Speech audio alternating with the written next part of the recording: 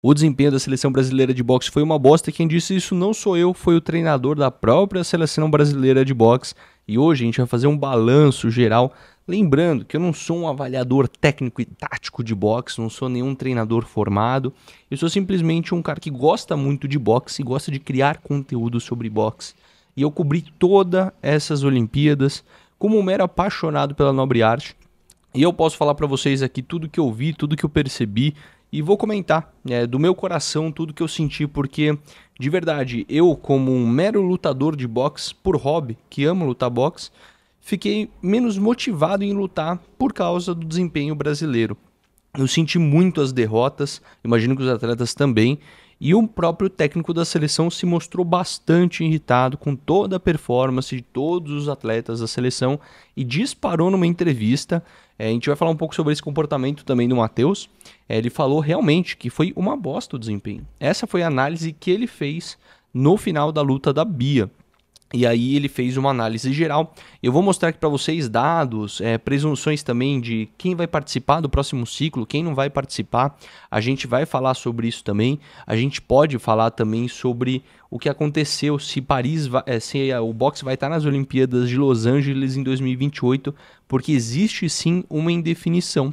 E eu vou explicar tudo para vocês agora. E eu fui convocado. Eu fui convocado a falar um vídeo de resposta a Esquiva Falcão que me citou no vídeo dele. Vamos ouvir o que o Esquiva Falcão falou aqui. São quatro anos para uma nova equipe olímpica, entendeu? As meninas já têm 28, 29, 30 anos, entendeu? É, então, até vou pedir aqui o canal, o Johnny, Esquiva falando, que faça um vídeo sobre esse assunto, sobre idade dos boxeadores. Legal, Vamos legal fazer isso aí. Porque quem, quem pode vamos ir para. Fazer. Vamos fazer um vídeo sobre a idade dos atletas, vamos falar disso nesse vídeo, mas vamos falar aqui primeiro do desempenho e da citação do Matheus. Ele falou aqui, ó, o esporte do boxe não pegou nada em 2009, até 2009. Então lembrando que o boxe não ganhava medalha desde 1968 e foi pegar ali nas Olimpíadas de 2012 a primeira medalha desde 1968. E ele falou: "Só eu que não aceito uma medalha, para mim é muito pouco, não vou aceitar. O Brasil não foi bem com bronze, foi uma bosta. Eu tenho que assumir isso como head coach. Fizemos um ciclo impecável, campeão de todos os torneios, quatro medalhas mundiais. Então, se um time que fez isso em três anos tem que cumprir nos Jogos Olímpicos. E a equipe sucumbiu à pressão psicológica do jogo. E aqui, aqui eu falo que está o grande ponto que o Matheus falou. Vamos falar um pouco sobre essa declaração. Primeiro, eu como treinador, eu com uma postura de uma pessoa que é responsável por um grupo de atletas, talvez não utilizaria o linguajar uma bosta, tá? É, eu acho que é muito pesado e muito forte para os atletas ouvirem isso internamente. Não sei qual seria a resposta de quem está ouvindo receber que seu desempenho foi uma bosta tão contundente assim, pelo menos na mídia não é muito comum que treinadores falam com essa contundência.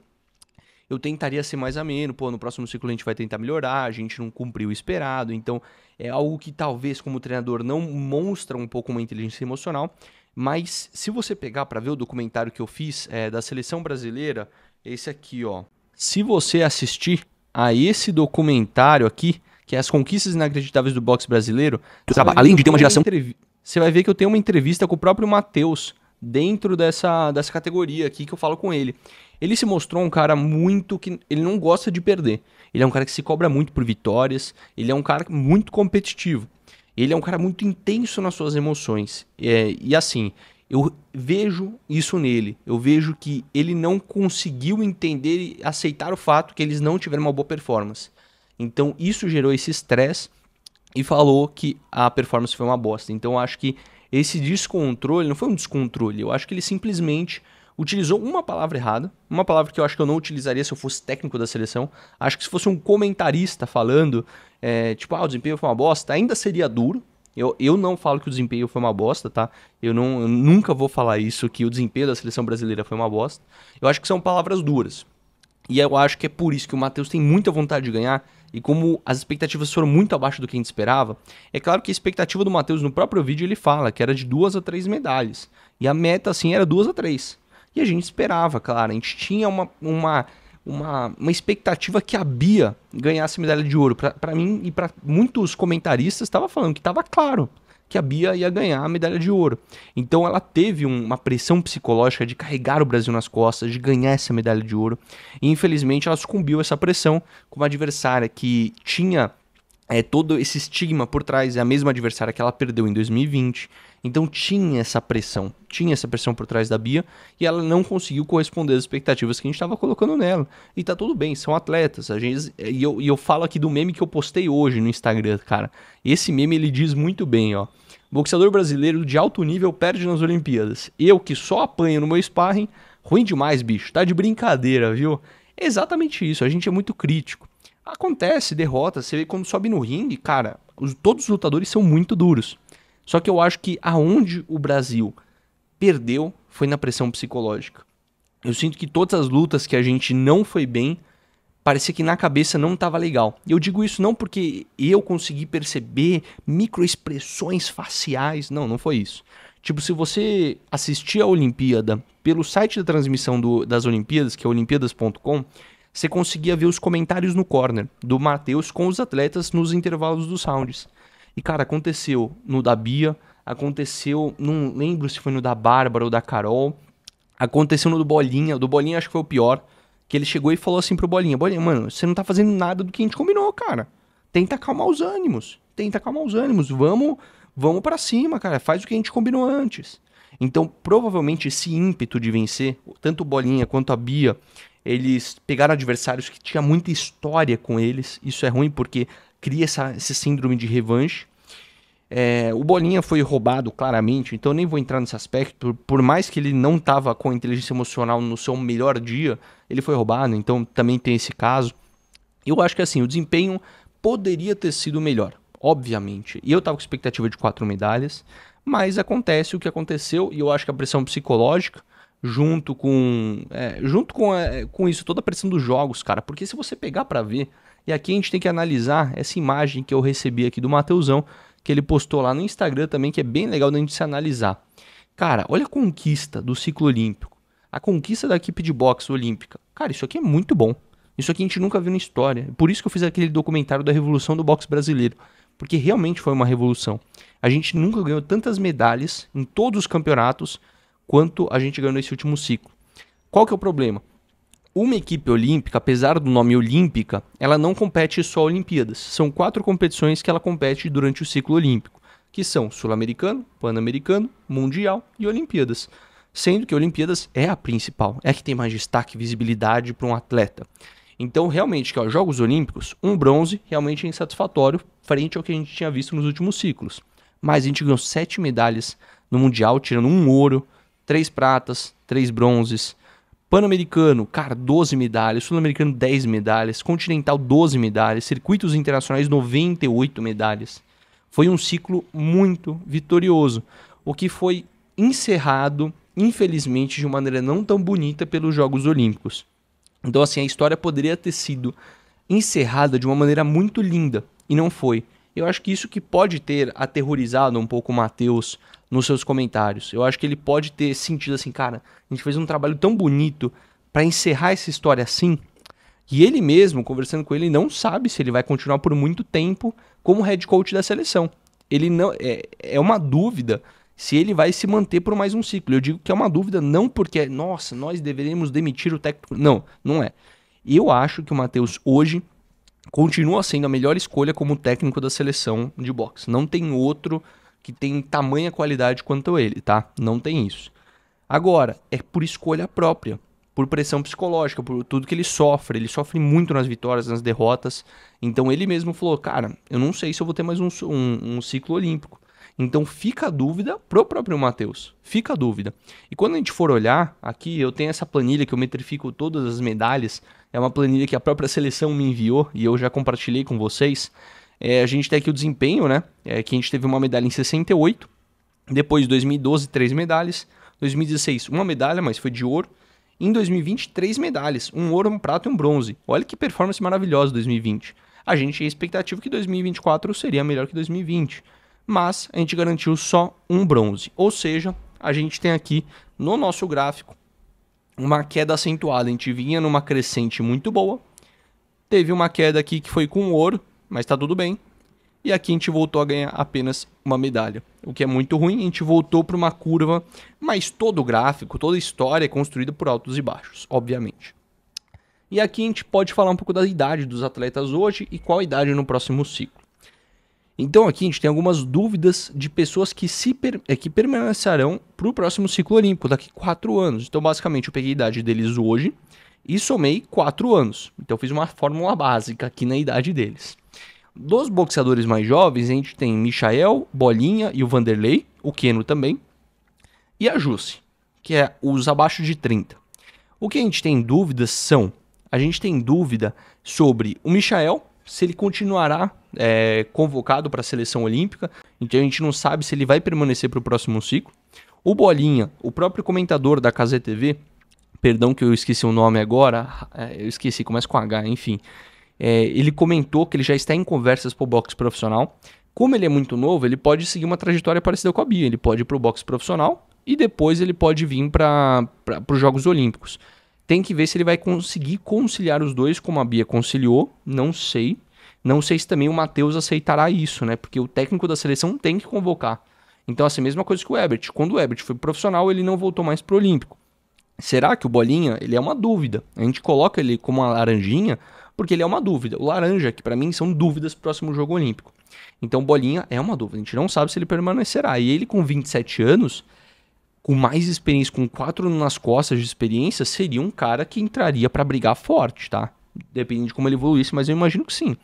Vanderlei, é, eu já vi uns comentários que ele fez na internet, fala assim, não, relaxa galera, a gente não ganhou agora, o chaveamento dele realmente estava muito duro, muito difícil. Ele falou, no próximo vai dar certo, em Los Angeles 2028 vai dar certo. Então ele já deu a letra que com 27 anos ele provavelmente vai estar na equipe olímpica, então isso é muito bom. Muito mais experiente, um cara que já ganhou uma luta no boxe olímpico, então ele vai chegar já com mais experiência, já lutou com o cara da Ucrânia, um cara super experiente, que provavelmente não vai estar no próximo ciclo. Então ele pode ser uma grande promessa para a gente ficar de olho para o próximo ciclo, assim como o Keno, que eu vi algumas entrevistas, ele pode se profissionalizar, tá? Aqui eu poderia até botar como um verdinho barra laranja, mas pelo que eu entendo, assim, ele é um cara muito apaixonado no boxe olímpico. Ele em podcast já relatou várias vezes que gosta, o estilo dele é mais a ver com boxe olímpico, um boxe mais jogado. Então eu acho que o Keno pode vir próximo ciclo com 28 anos chegaria, né, muito como favorito, dependendo de como fosse o ciclo para ele. O Abner, ele já vem de dois ciclos, ele já é medalhista de bronze das Olimpíadas, né, de 2020. Com 31 anos, a gente não tem nenhum boxeador acima de 30 aqui, então não sei se a gente ficaria com um boxeador acima de 30. Talvez ele queira se profissionalizar também, chegando nessa idade, quer começar a ganhar mais dinheiro, quer se profissionalizar, é comum assim como as boxeadoras femininas, tá? Na categoria feminina, a gente tem muitas boxeadoras começaram a, é, começaram a trilhar esse ciclo acima dos 30 anos. Então, pode ser que elas lutem, mas a gente não teve nenhuma acima de 35. E todas elas vão ter acima de 35 no próximo ciclo. Será que elas vão continuar? É normal boxeadoras femininas terem uma idade um pouco mais avançada que o masculino, tá tudo bem. Só que será que elas vão participar? pelo que eu vi, tá? Carol e Tati vão estar tá com 36. A gente não sabe. Talvez elas queiram se profissionalizar também. É comum, carreira de boxeador não vai durar tanto, porque é um esporte de contato, assim como o futebol. É, você não vai continuar uma carreira com 45, 50 anos, porque é um esporte muito duro. Ninguém aguenta tomar soco por tanto tempo. Então, não sei como que vai ser a cabeça das duas. Talvez elas queiram lutar mais algum ciclo olímpico. Realmente não tenho essa informação, tá? Então, por isso que eu deixei como laranja pela questão da idade. A Jussi a Jussi tem idade sim para participar de mais um ciclo olímpico e tem interesse. Assim que ela foi derrotada na sua última luta, ela fez um vídeo falando assim: ó, vamos chegar forte para Los Angeles 2028. Então a Jussi tem interesse e parece que vai ser uma certeza no nosso boxe olímpico e ela vai chegar como uma das grandes favoritas porque ela impressionou muito na minha visão. E aí é uma visão de novo não técnica, eu sou um comentador aqui da internet para vocês lutou super bem a última luta. Para mim, ela ganhou a luta. Sei que tem critérios, os critérios ali da Olimpíadas muito diferentes um dos outros. Eu gostei da Jussi, eu gostei do boxe da Jussi. Para mim, ela vai continuar e vai chegar bem para as próximas Olimpíadas. A Bia já deu adeus às Olimpíadas. Aqui ela fala aqui que ela queria ser campeã olímpica, que não era assim que ela queria encerrar o ciclo. Então a gente já pode assumir com toda certeza que ela não estará no próximo ciclo olímpico. Então a nossa grande favorita a nossa única medalhista está saindo para o boxe profissional para focar a carreira no profissional e vai, vai ser incrível. A gente vai acompanhar, comentar a carreira da Bia, porque, cara, é a maior que a gente tem no boxe brasileiro. É, entre homens e mulheres, é a maior que a gente tem em questão de vitórias, em questão de qualidade. Cara, pode falar o que for falar, a Bia fez história e ela está na história e vai ser difícil bater ela. É difícil chegar um novo boxeador, no boxeadora para bater ela. E a Bárbara do ciclo a mais velha, 37 anos, também coloquei como uma dúvida, porque a gente não tem informações como. Mas cara, tudo isso aqui pode estar em xeque, tá? Mesmo que esses aqui em verde passem, a gente está em xeque se a gente vai ter boxe nas Olimpíadas de 2028. Por quê? Existiu com aquela polêmica da boxeadora trans, eu já fiz um vídeo explicando é uma grande briga política. Uma grande briga política entre o Comitê Olímpico e a IBA, que é o Conselho Internacional de Boxe. Eles são duas instituições comandadas por países diferentes que não se gostam e que se bicam o tempo todo. O próprio COI, que é o Comitê Olímpico, ele já falou assim: a gente quer outra federação organizando boxe nas Olimpíadas de 2028. Se até começo de 2025, ou seja, daqui seis meses, a gente não tiver uma organização para nos ajudar, um novo parceiro, a gente vai sair. E aí, cara, tem matérias falando sobre essas brigas políticas que saíram agora. Saíram ontem na Reuters, que é o maior portal de notícia do mundo. Vou deixar na descrição para vocês verem que a gente pode ser, a gente pode ter uma esperança que pode acontecer. Aí uma matéria, cara, Reuters é um portal de notícia já um pouco mais sério, que ele documenta com muita criteriosidade os fatos. E eu vou trazer, então assim, é provável que a gente tenha, mas não é certo. Então a gente tem que ficar de olho e eu vou mostrar isso para vocês com certeza. Eu queria saber, e assim, é, utilizem o cupom FALA na loja da Maximum, quer comprar luva, quer comprar caneleira, se você usa Muay Thai, o kickboxing, quer, mano, comprar equipamento esportivo, capacete, qualquer coisa, vai na Maximum, cupom FALA 10% de desconto. Eu adoro, cara, uso tudo da Maximum, tem review no canal de vídeos de produto Maximum. Mas eu queria ouvir de você agora que, que você achou do desempenho da seleção brasileira? Eu, particularmente, eu achei que eles caíram na pressão. É, foi muita. A gente criou muita expectativa em cima deles, pelo menos eu criei muita expectativa. Aí quando você cria expectativa sobre algo que não dá retorno, você acha que foi uma grande fracasso. Mas a grande realidade é que eu estava esperando quatro medalhas. Eu acho que os brasileiros. A gente tem ótimos para se orgulhar. Eu acho que o Vanderlei saiu maior do que entrou. A Jusce saiu melhor que entrou. A Bia é grande, sempre será grande, independente do resultado que acontecesse, a Bia ia continuar grande. E cara, acontece. Agora a gente tem que ver quais são os próximos caminhos. Eu acho que o Brasil ainda ele sofreu na mão da arbitragem. Eu acho que os, os, os árbitros não apitaram tanto a favor do Brasil quanto apitavam a favor de outros times. E quando digo isso, não é que tipo, tinha um grande complô do Brasil. Mas eu senti que quando o brasileiro ganhava bem um round, ganhava bem, assim, foi claramente ele foi melhor. Ele ganhava de 3 a 2. Quando o brasileiro perdia o round, ele perdia de 5 a 0. Por mais questionável que fosse, já dava 5 a 0 pro outro cara. Então eu senti isso, uma má vontade de dar uma pontuação contundente pro brasileiro do que dá para um europeu, do que dá para um cara de país tradicional de boxe, Cazaquistão, Uzbequistão, essas coisas. Na minha avaliação, não ficou claro os critérios. Tipo, a Bia trabalhou muito volume de golpe, enquanto aquele Harrington foi mais contundente nos golpes. Cara, eu vi lutas, eu assisti todas as lutas das Olimpíadas, tá? Eu fiquei assistindo o dia inteiro. Eu via lutas onde quem ganhava era quem tinha maior volume de golpe, e eu via lutas de quem ganhava era com mais contundência. Da maioria que eu vi, a maioria que levava era por volume de golpe. Foi o que eu percebi durante todas as Olimpíadas. Então, quando chega uma luta da Bia e da que a Bia trabalhou muito mais golpes, eu fiquei estranhando a vitória dela. Então, assim, não é que eu quero defender a patriarcada brasileira. Eu realmente vi, assim como a Jusce. Bolinha nem se fala, cara. O que, que foi aquilo no primeiro round que deveria ter aberto contagem? O cara ia voltar, ia voltar a fazer a luta, porque não foi um golpe super forte, mas que ele realmente balançou e que ele quase tombou no chão. Então tinha que abrir contagem. Aí, assim, é, ficam as lições para as próximas Olimpíadas. Não vai ser fácil. Eu acho que é, essa mudança de confederação, de organização, que vai deixar de ser do COI para a próxima federação que entrar para organizar as Olimpíadas de 2028, tomara que seja muito benéfica. Eu acho que essa mudança vai sim estabelecer critérios mais claros, porque não foi só no Brasil que foi reclamado da arbitragem, tá? Não é que eu tô aqui defendendo o brasileiro, ah, porque brasileiro é isso, isso, aquilo. Não. Quando o Lacruz perdeu na primeira luta, o Lacruz perdeu, que era o favorito pro título, na 92 mais, cara, a internet, os portais gringos foram à loucura. Quando o Delicious Ori, que é um dos favoritos da Grã-Bretanha, na 92, perdeu, a comunidade inglesa, cara, eu acompanho muito perfil inglês, também Mano, foi assim, isso foi um dos maiores absurdos da história do boxe. Os caras foram muito contundentes falando que roubaram ele. Tipo, grandes portagens onde você fala assim, roubaram o Grã-Bretanha. Tipo, muita gente falou. Então, não foi exclusividade do Brasil. Não é porque a gente é brasileiro que a gente quer que os brasileiros ganhem. A gente teve outros grandes atletas que foram roubados. A própria luta, a penúltima luta do Arlen Lopes, que ele perdeu e ficou com a medalha de bronze, foi questionada. Alguns viram as vitórias dele, porque a gente não teve os critérios estabelecidos. De qualquer maneira, eu quero ouvir a sua opinião nos comentários. E é isso. Um abraço, um beijo e vamos continuar cobrindo o final das Olimpíadas e o pós-boxe profissional. A gente vai continuar trazendo comentários aqui para vocês. Fechou? Tamo junto, forte abraço e até mais.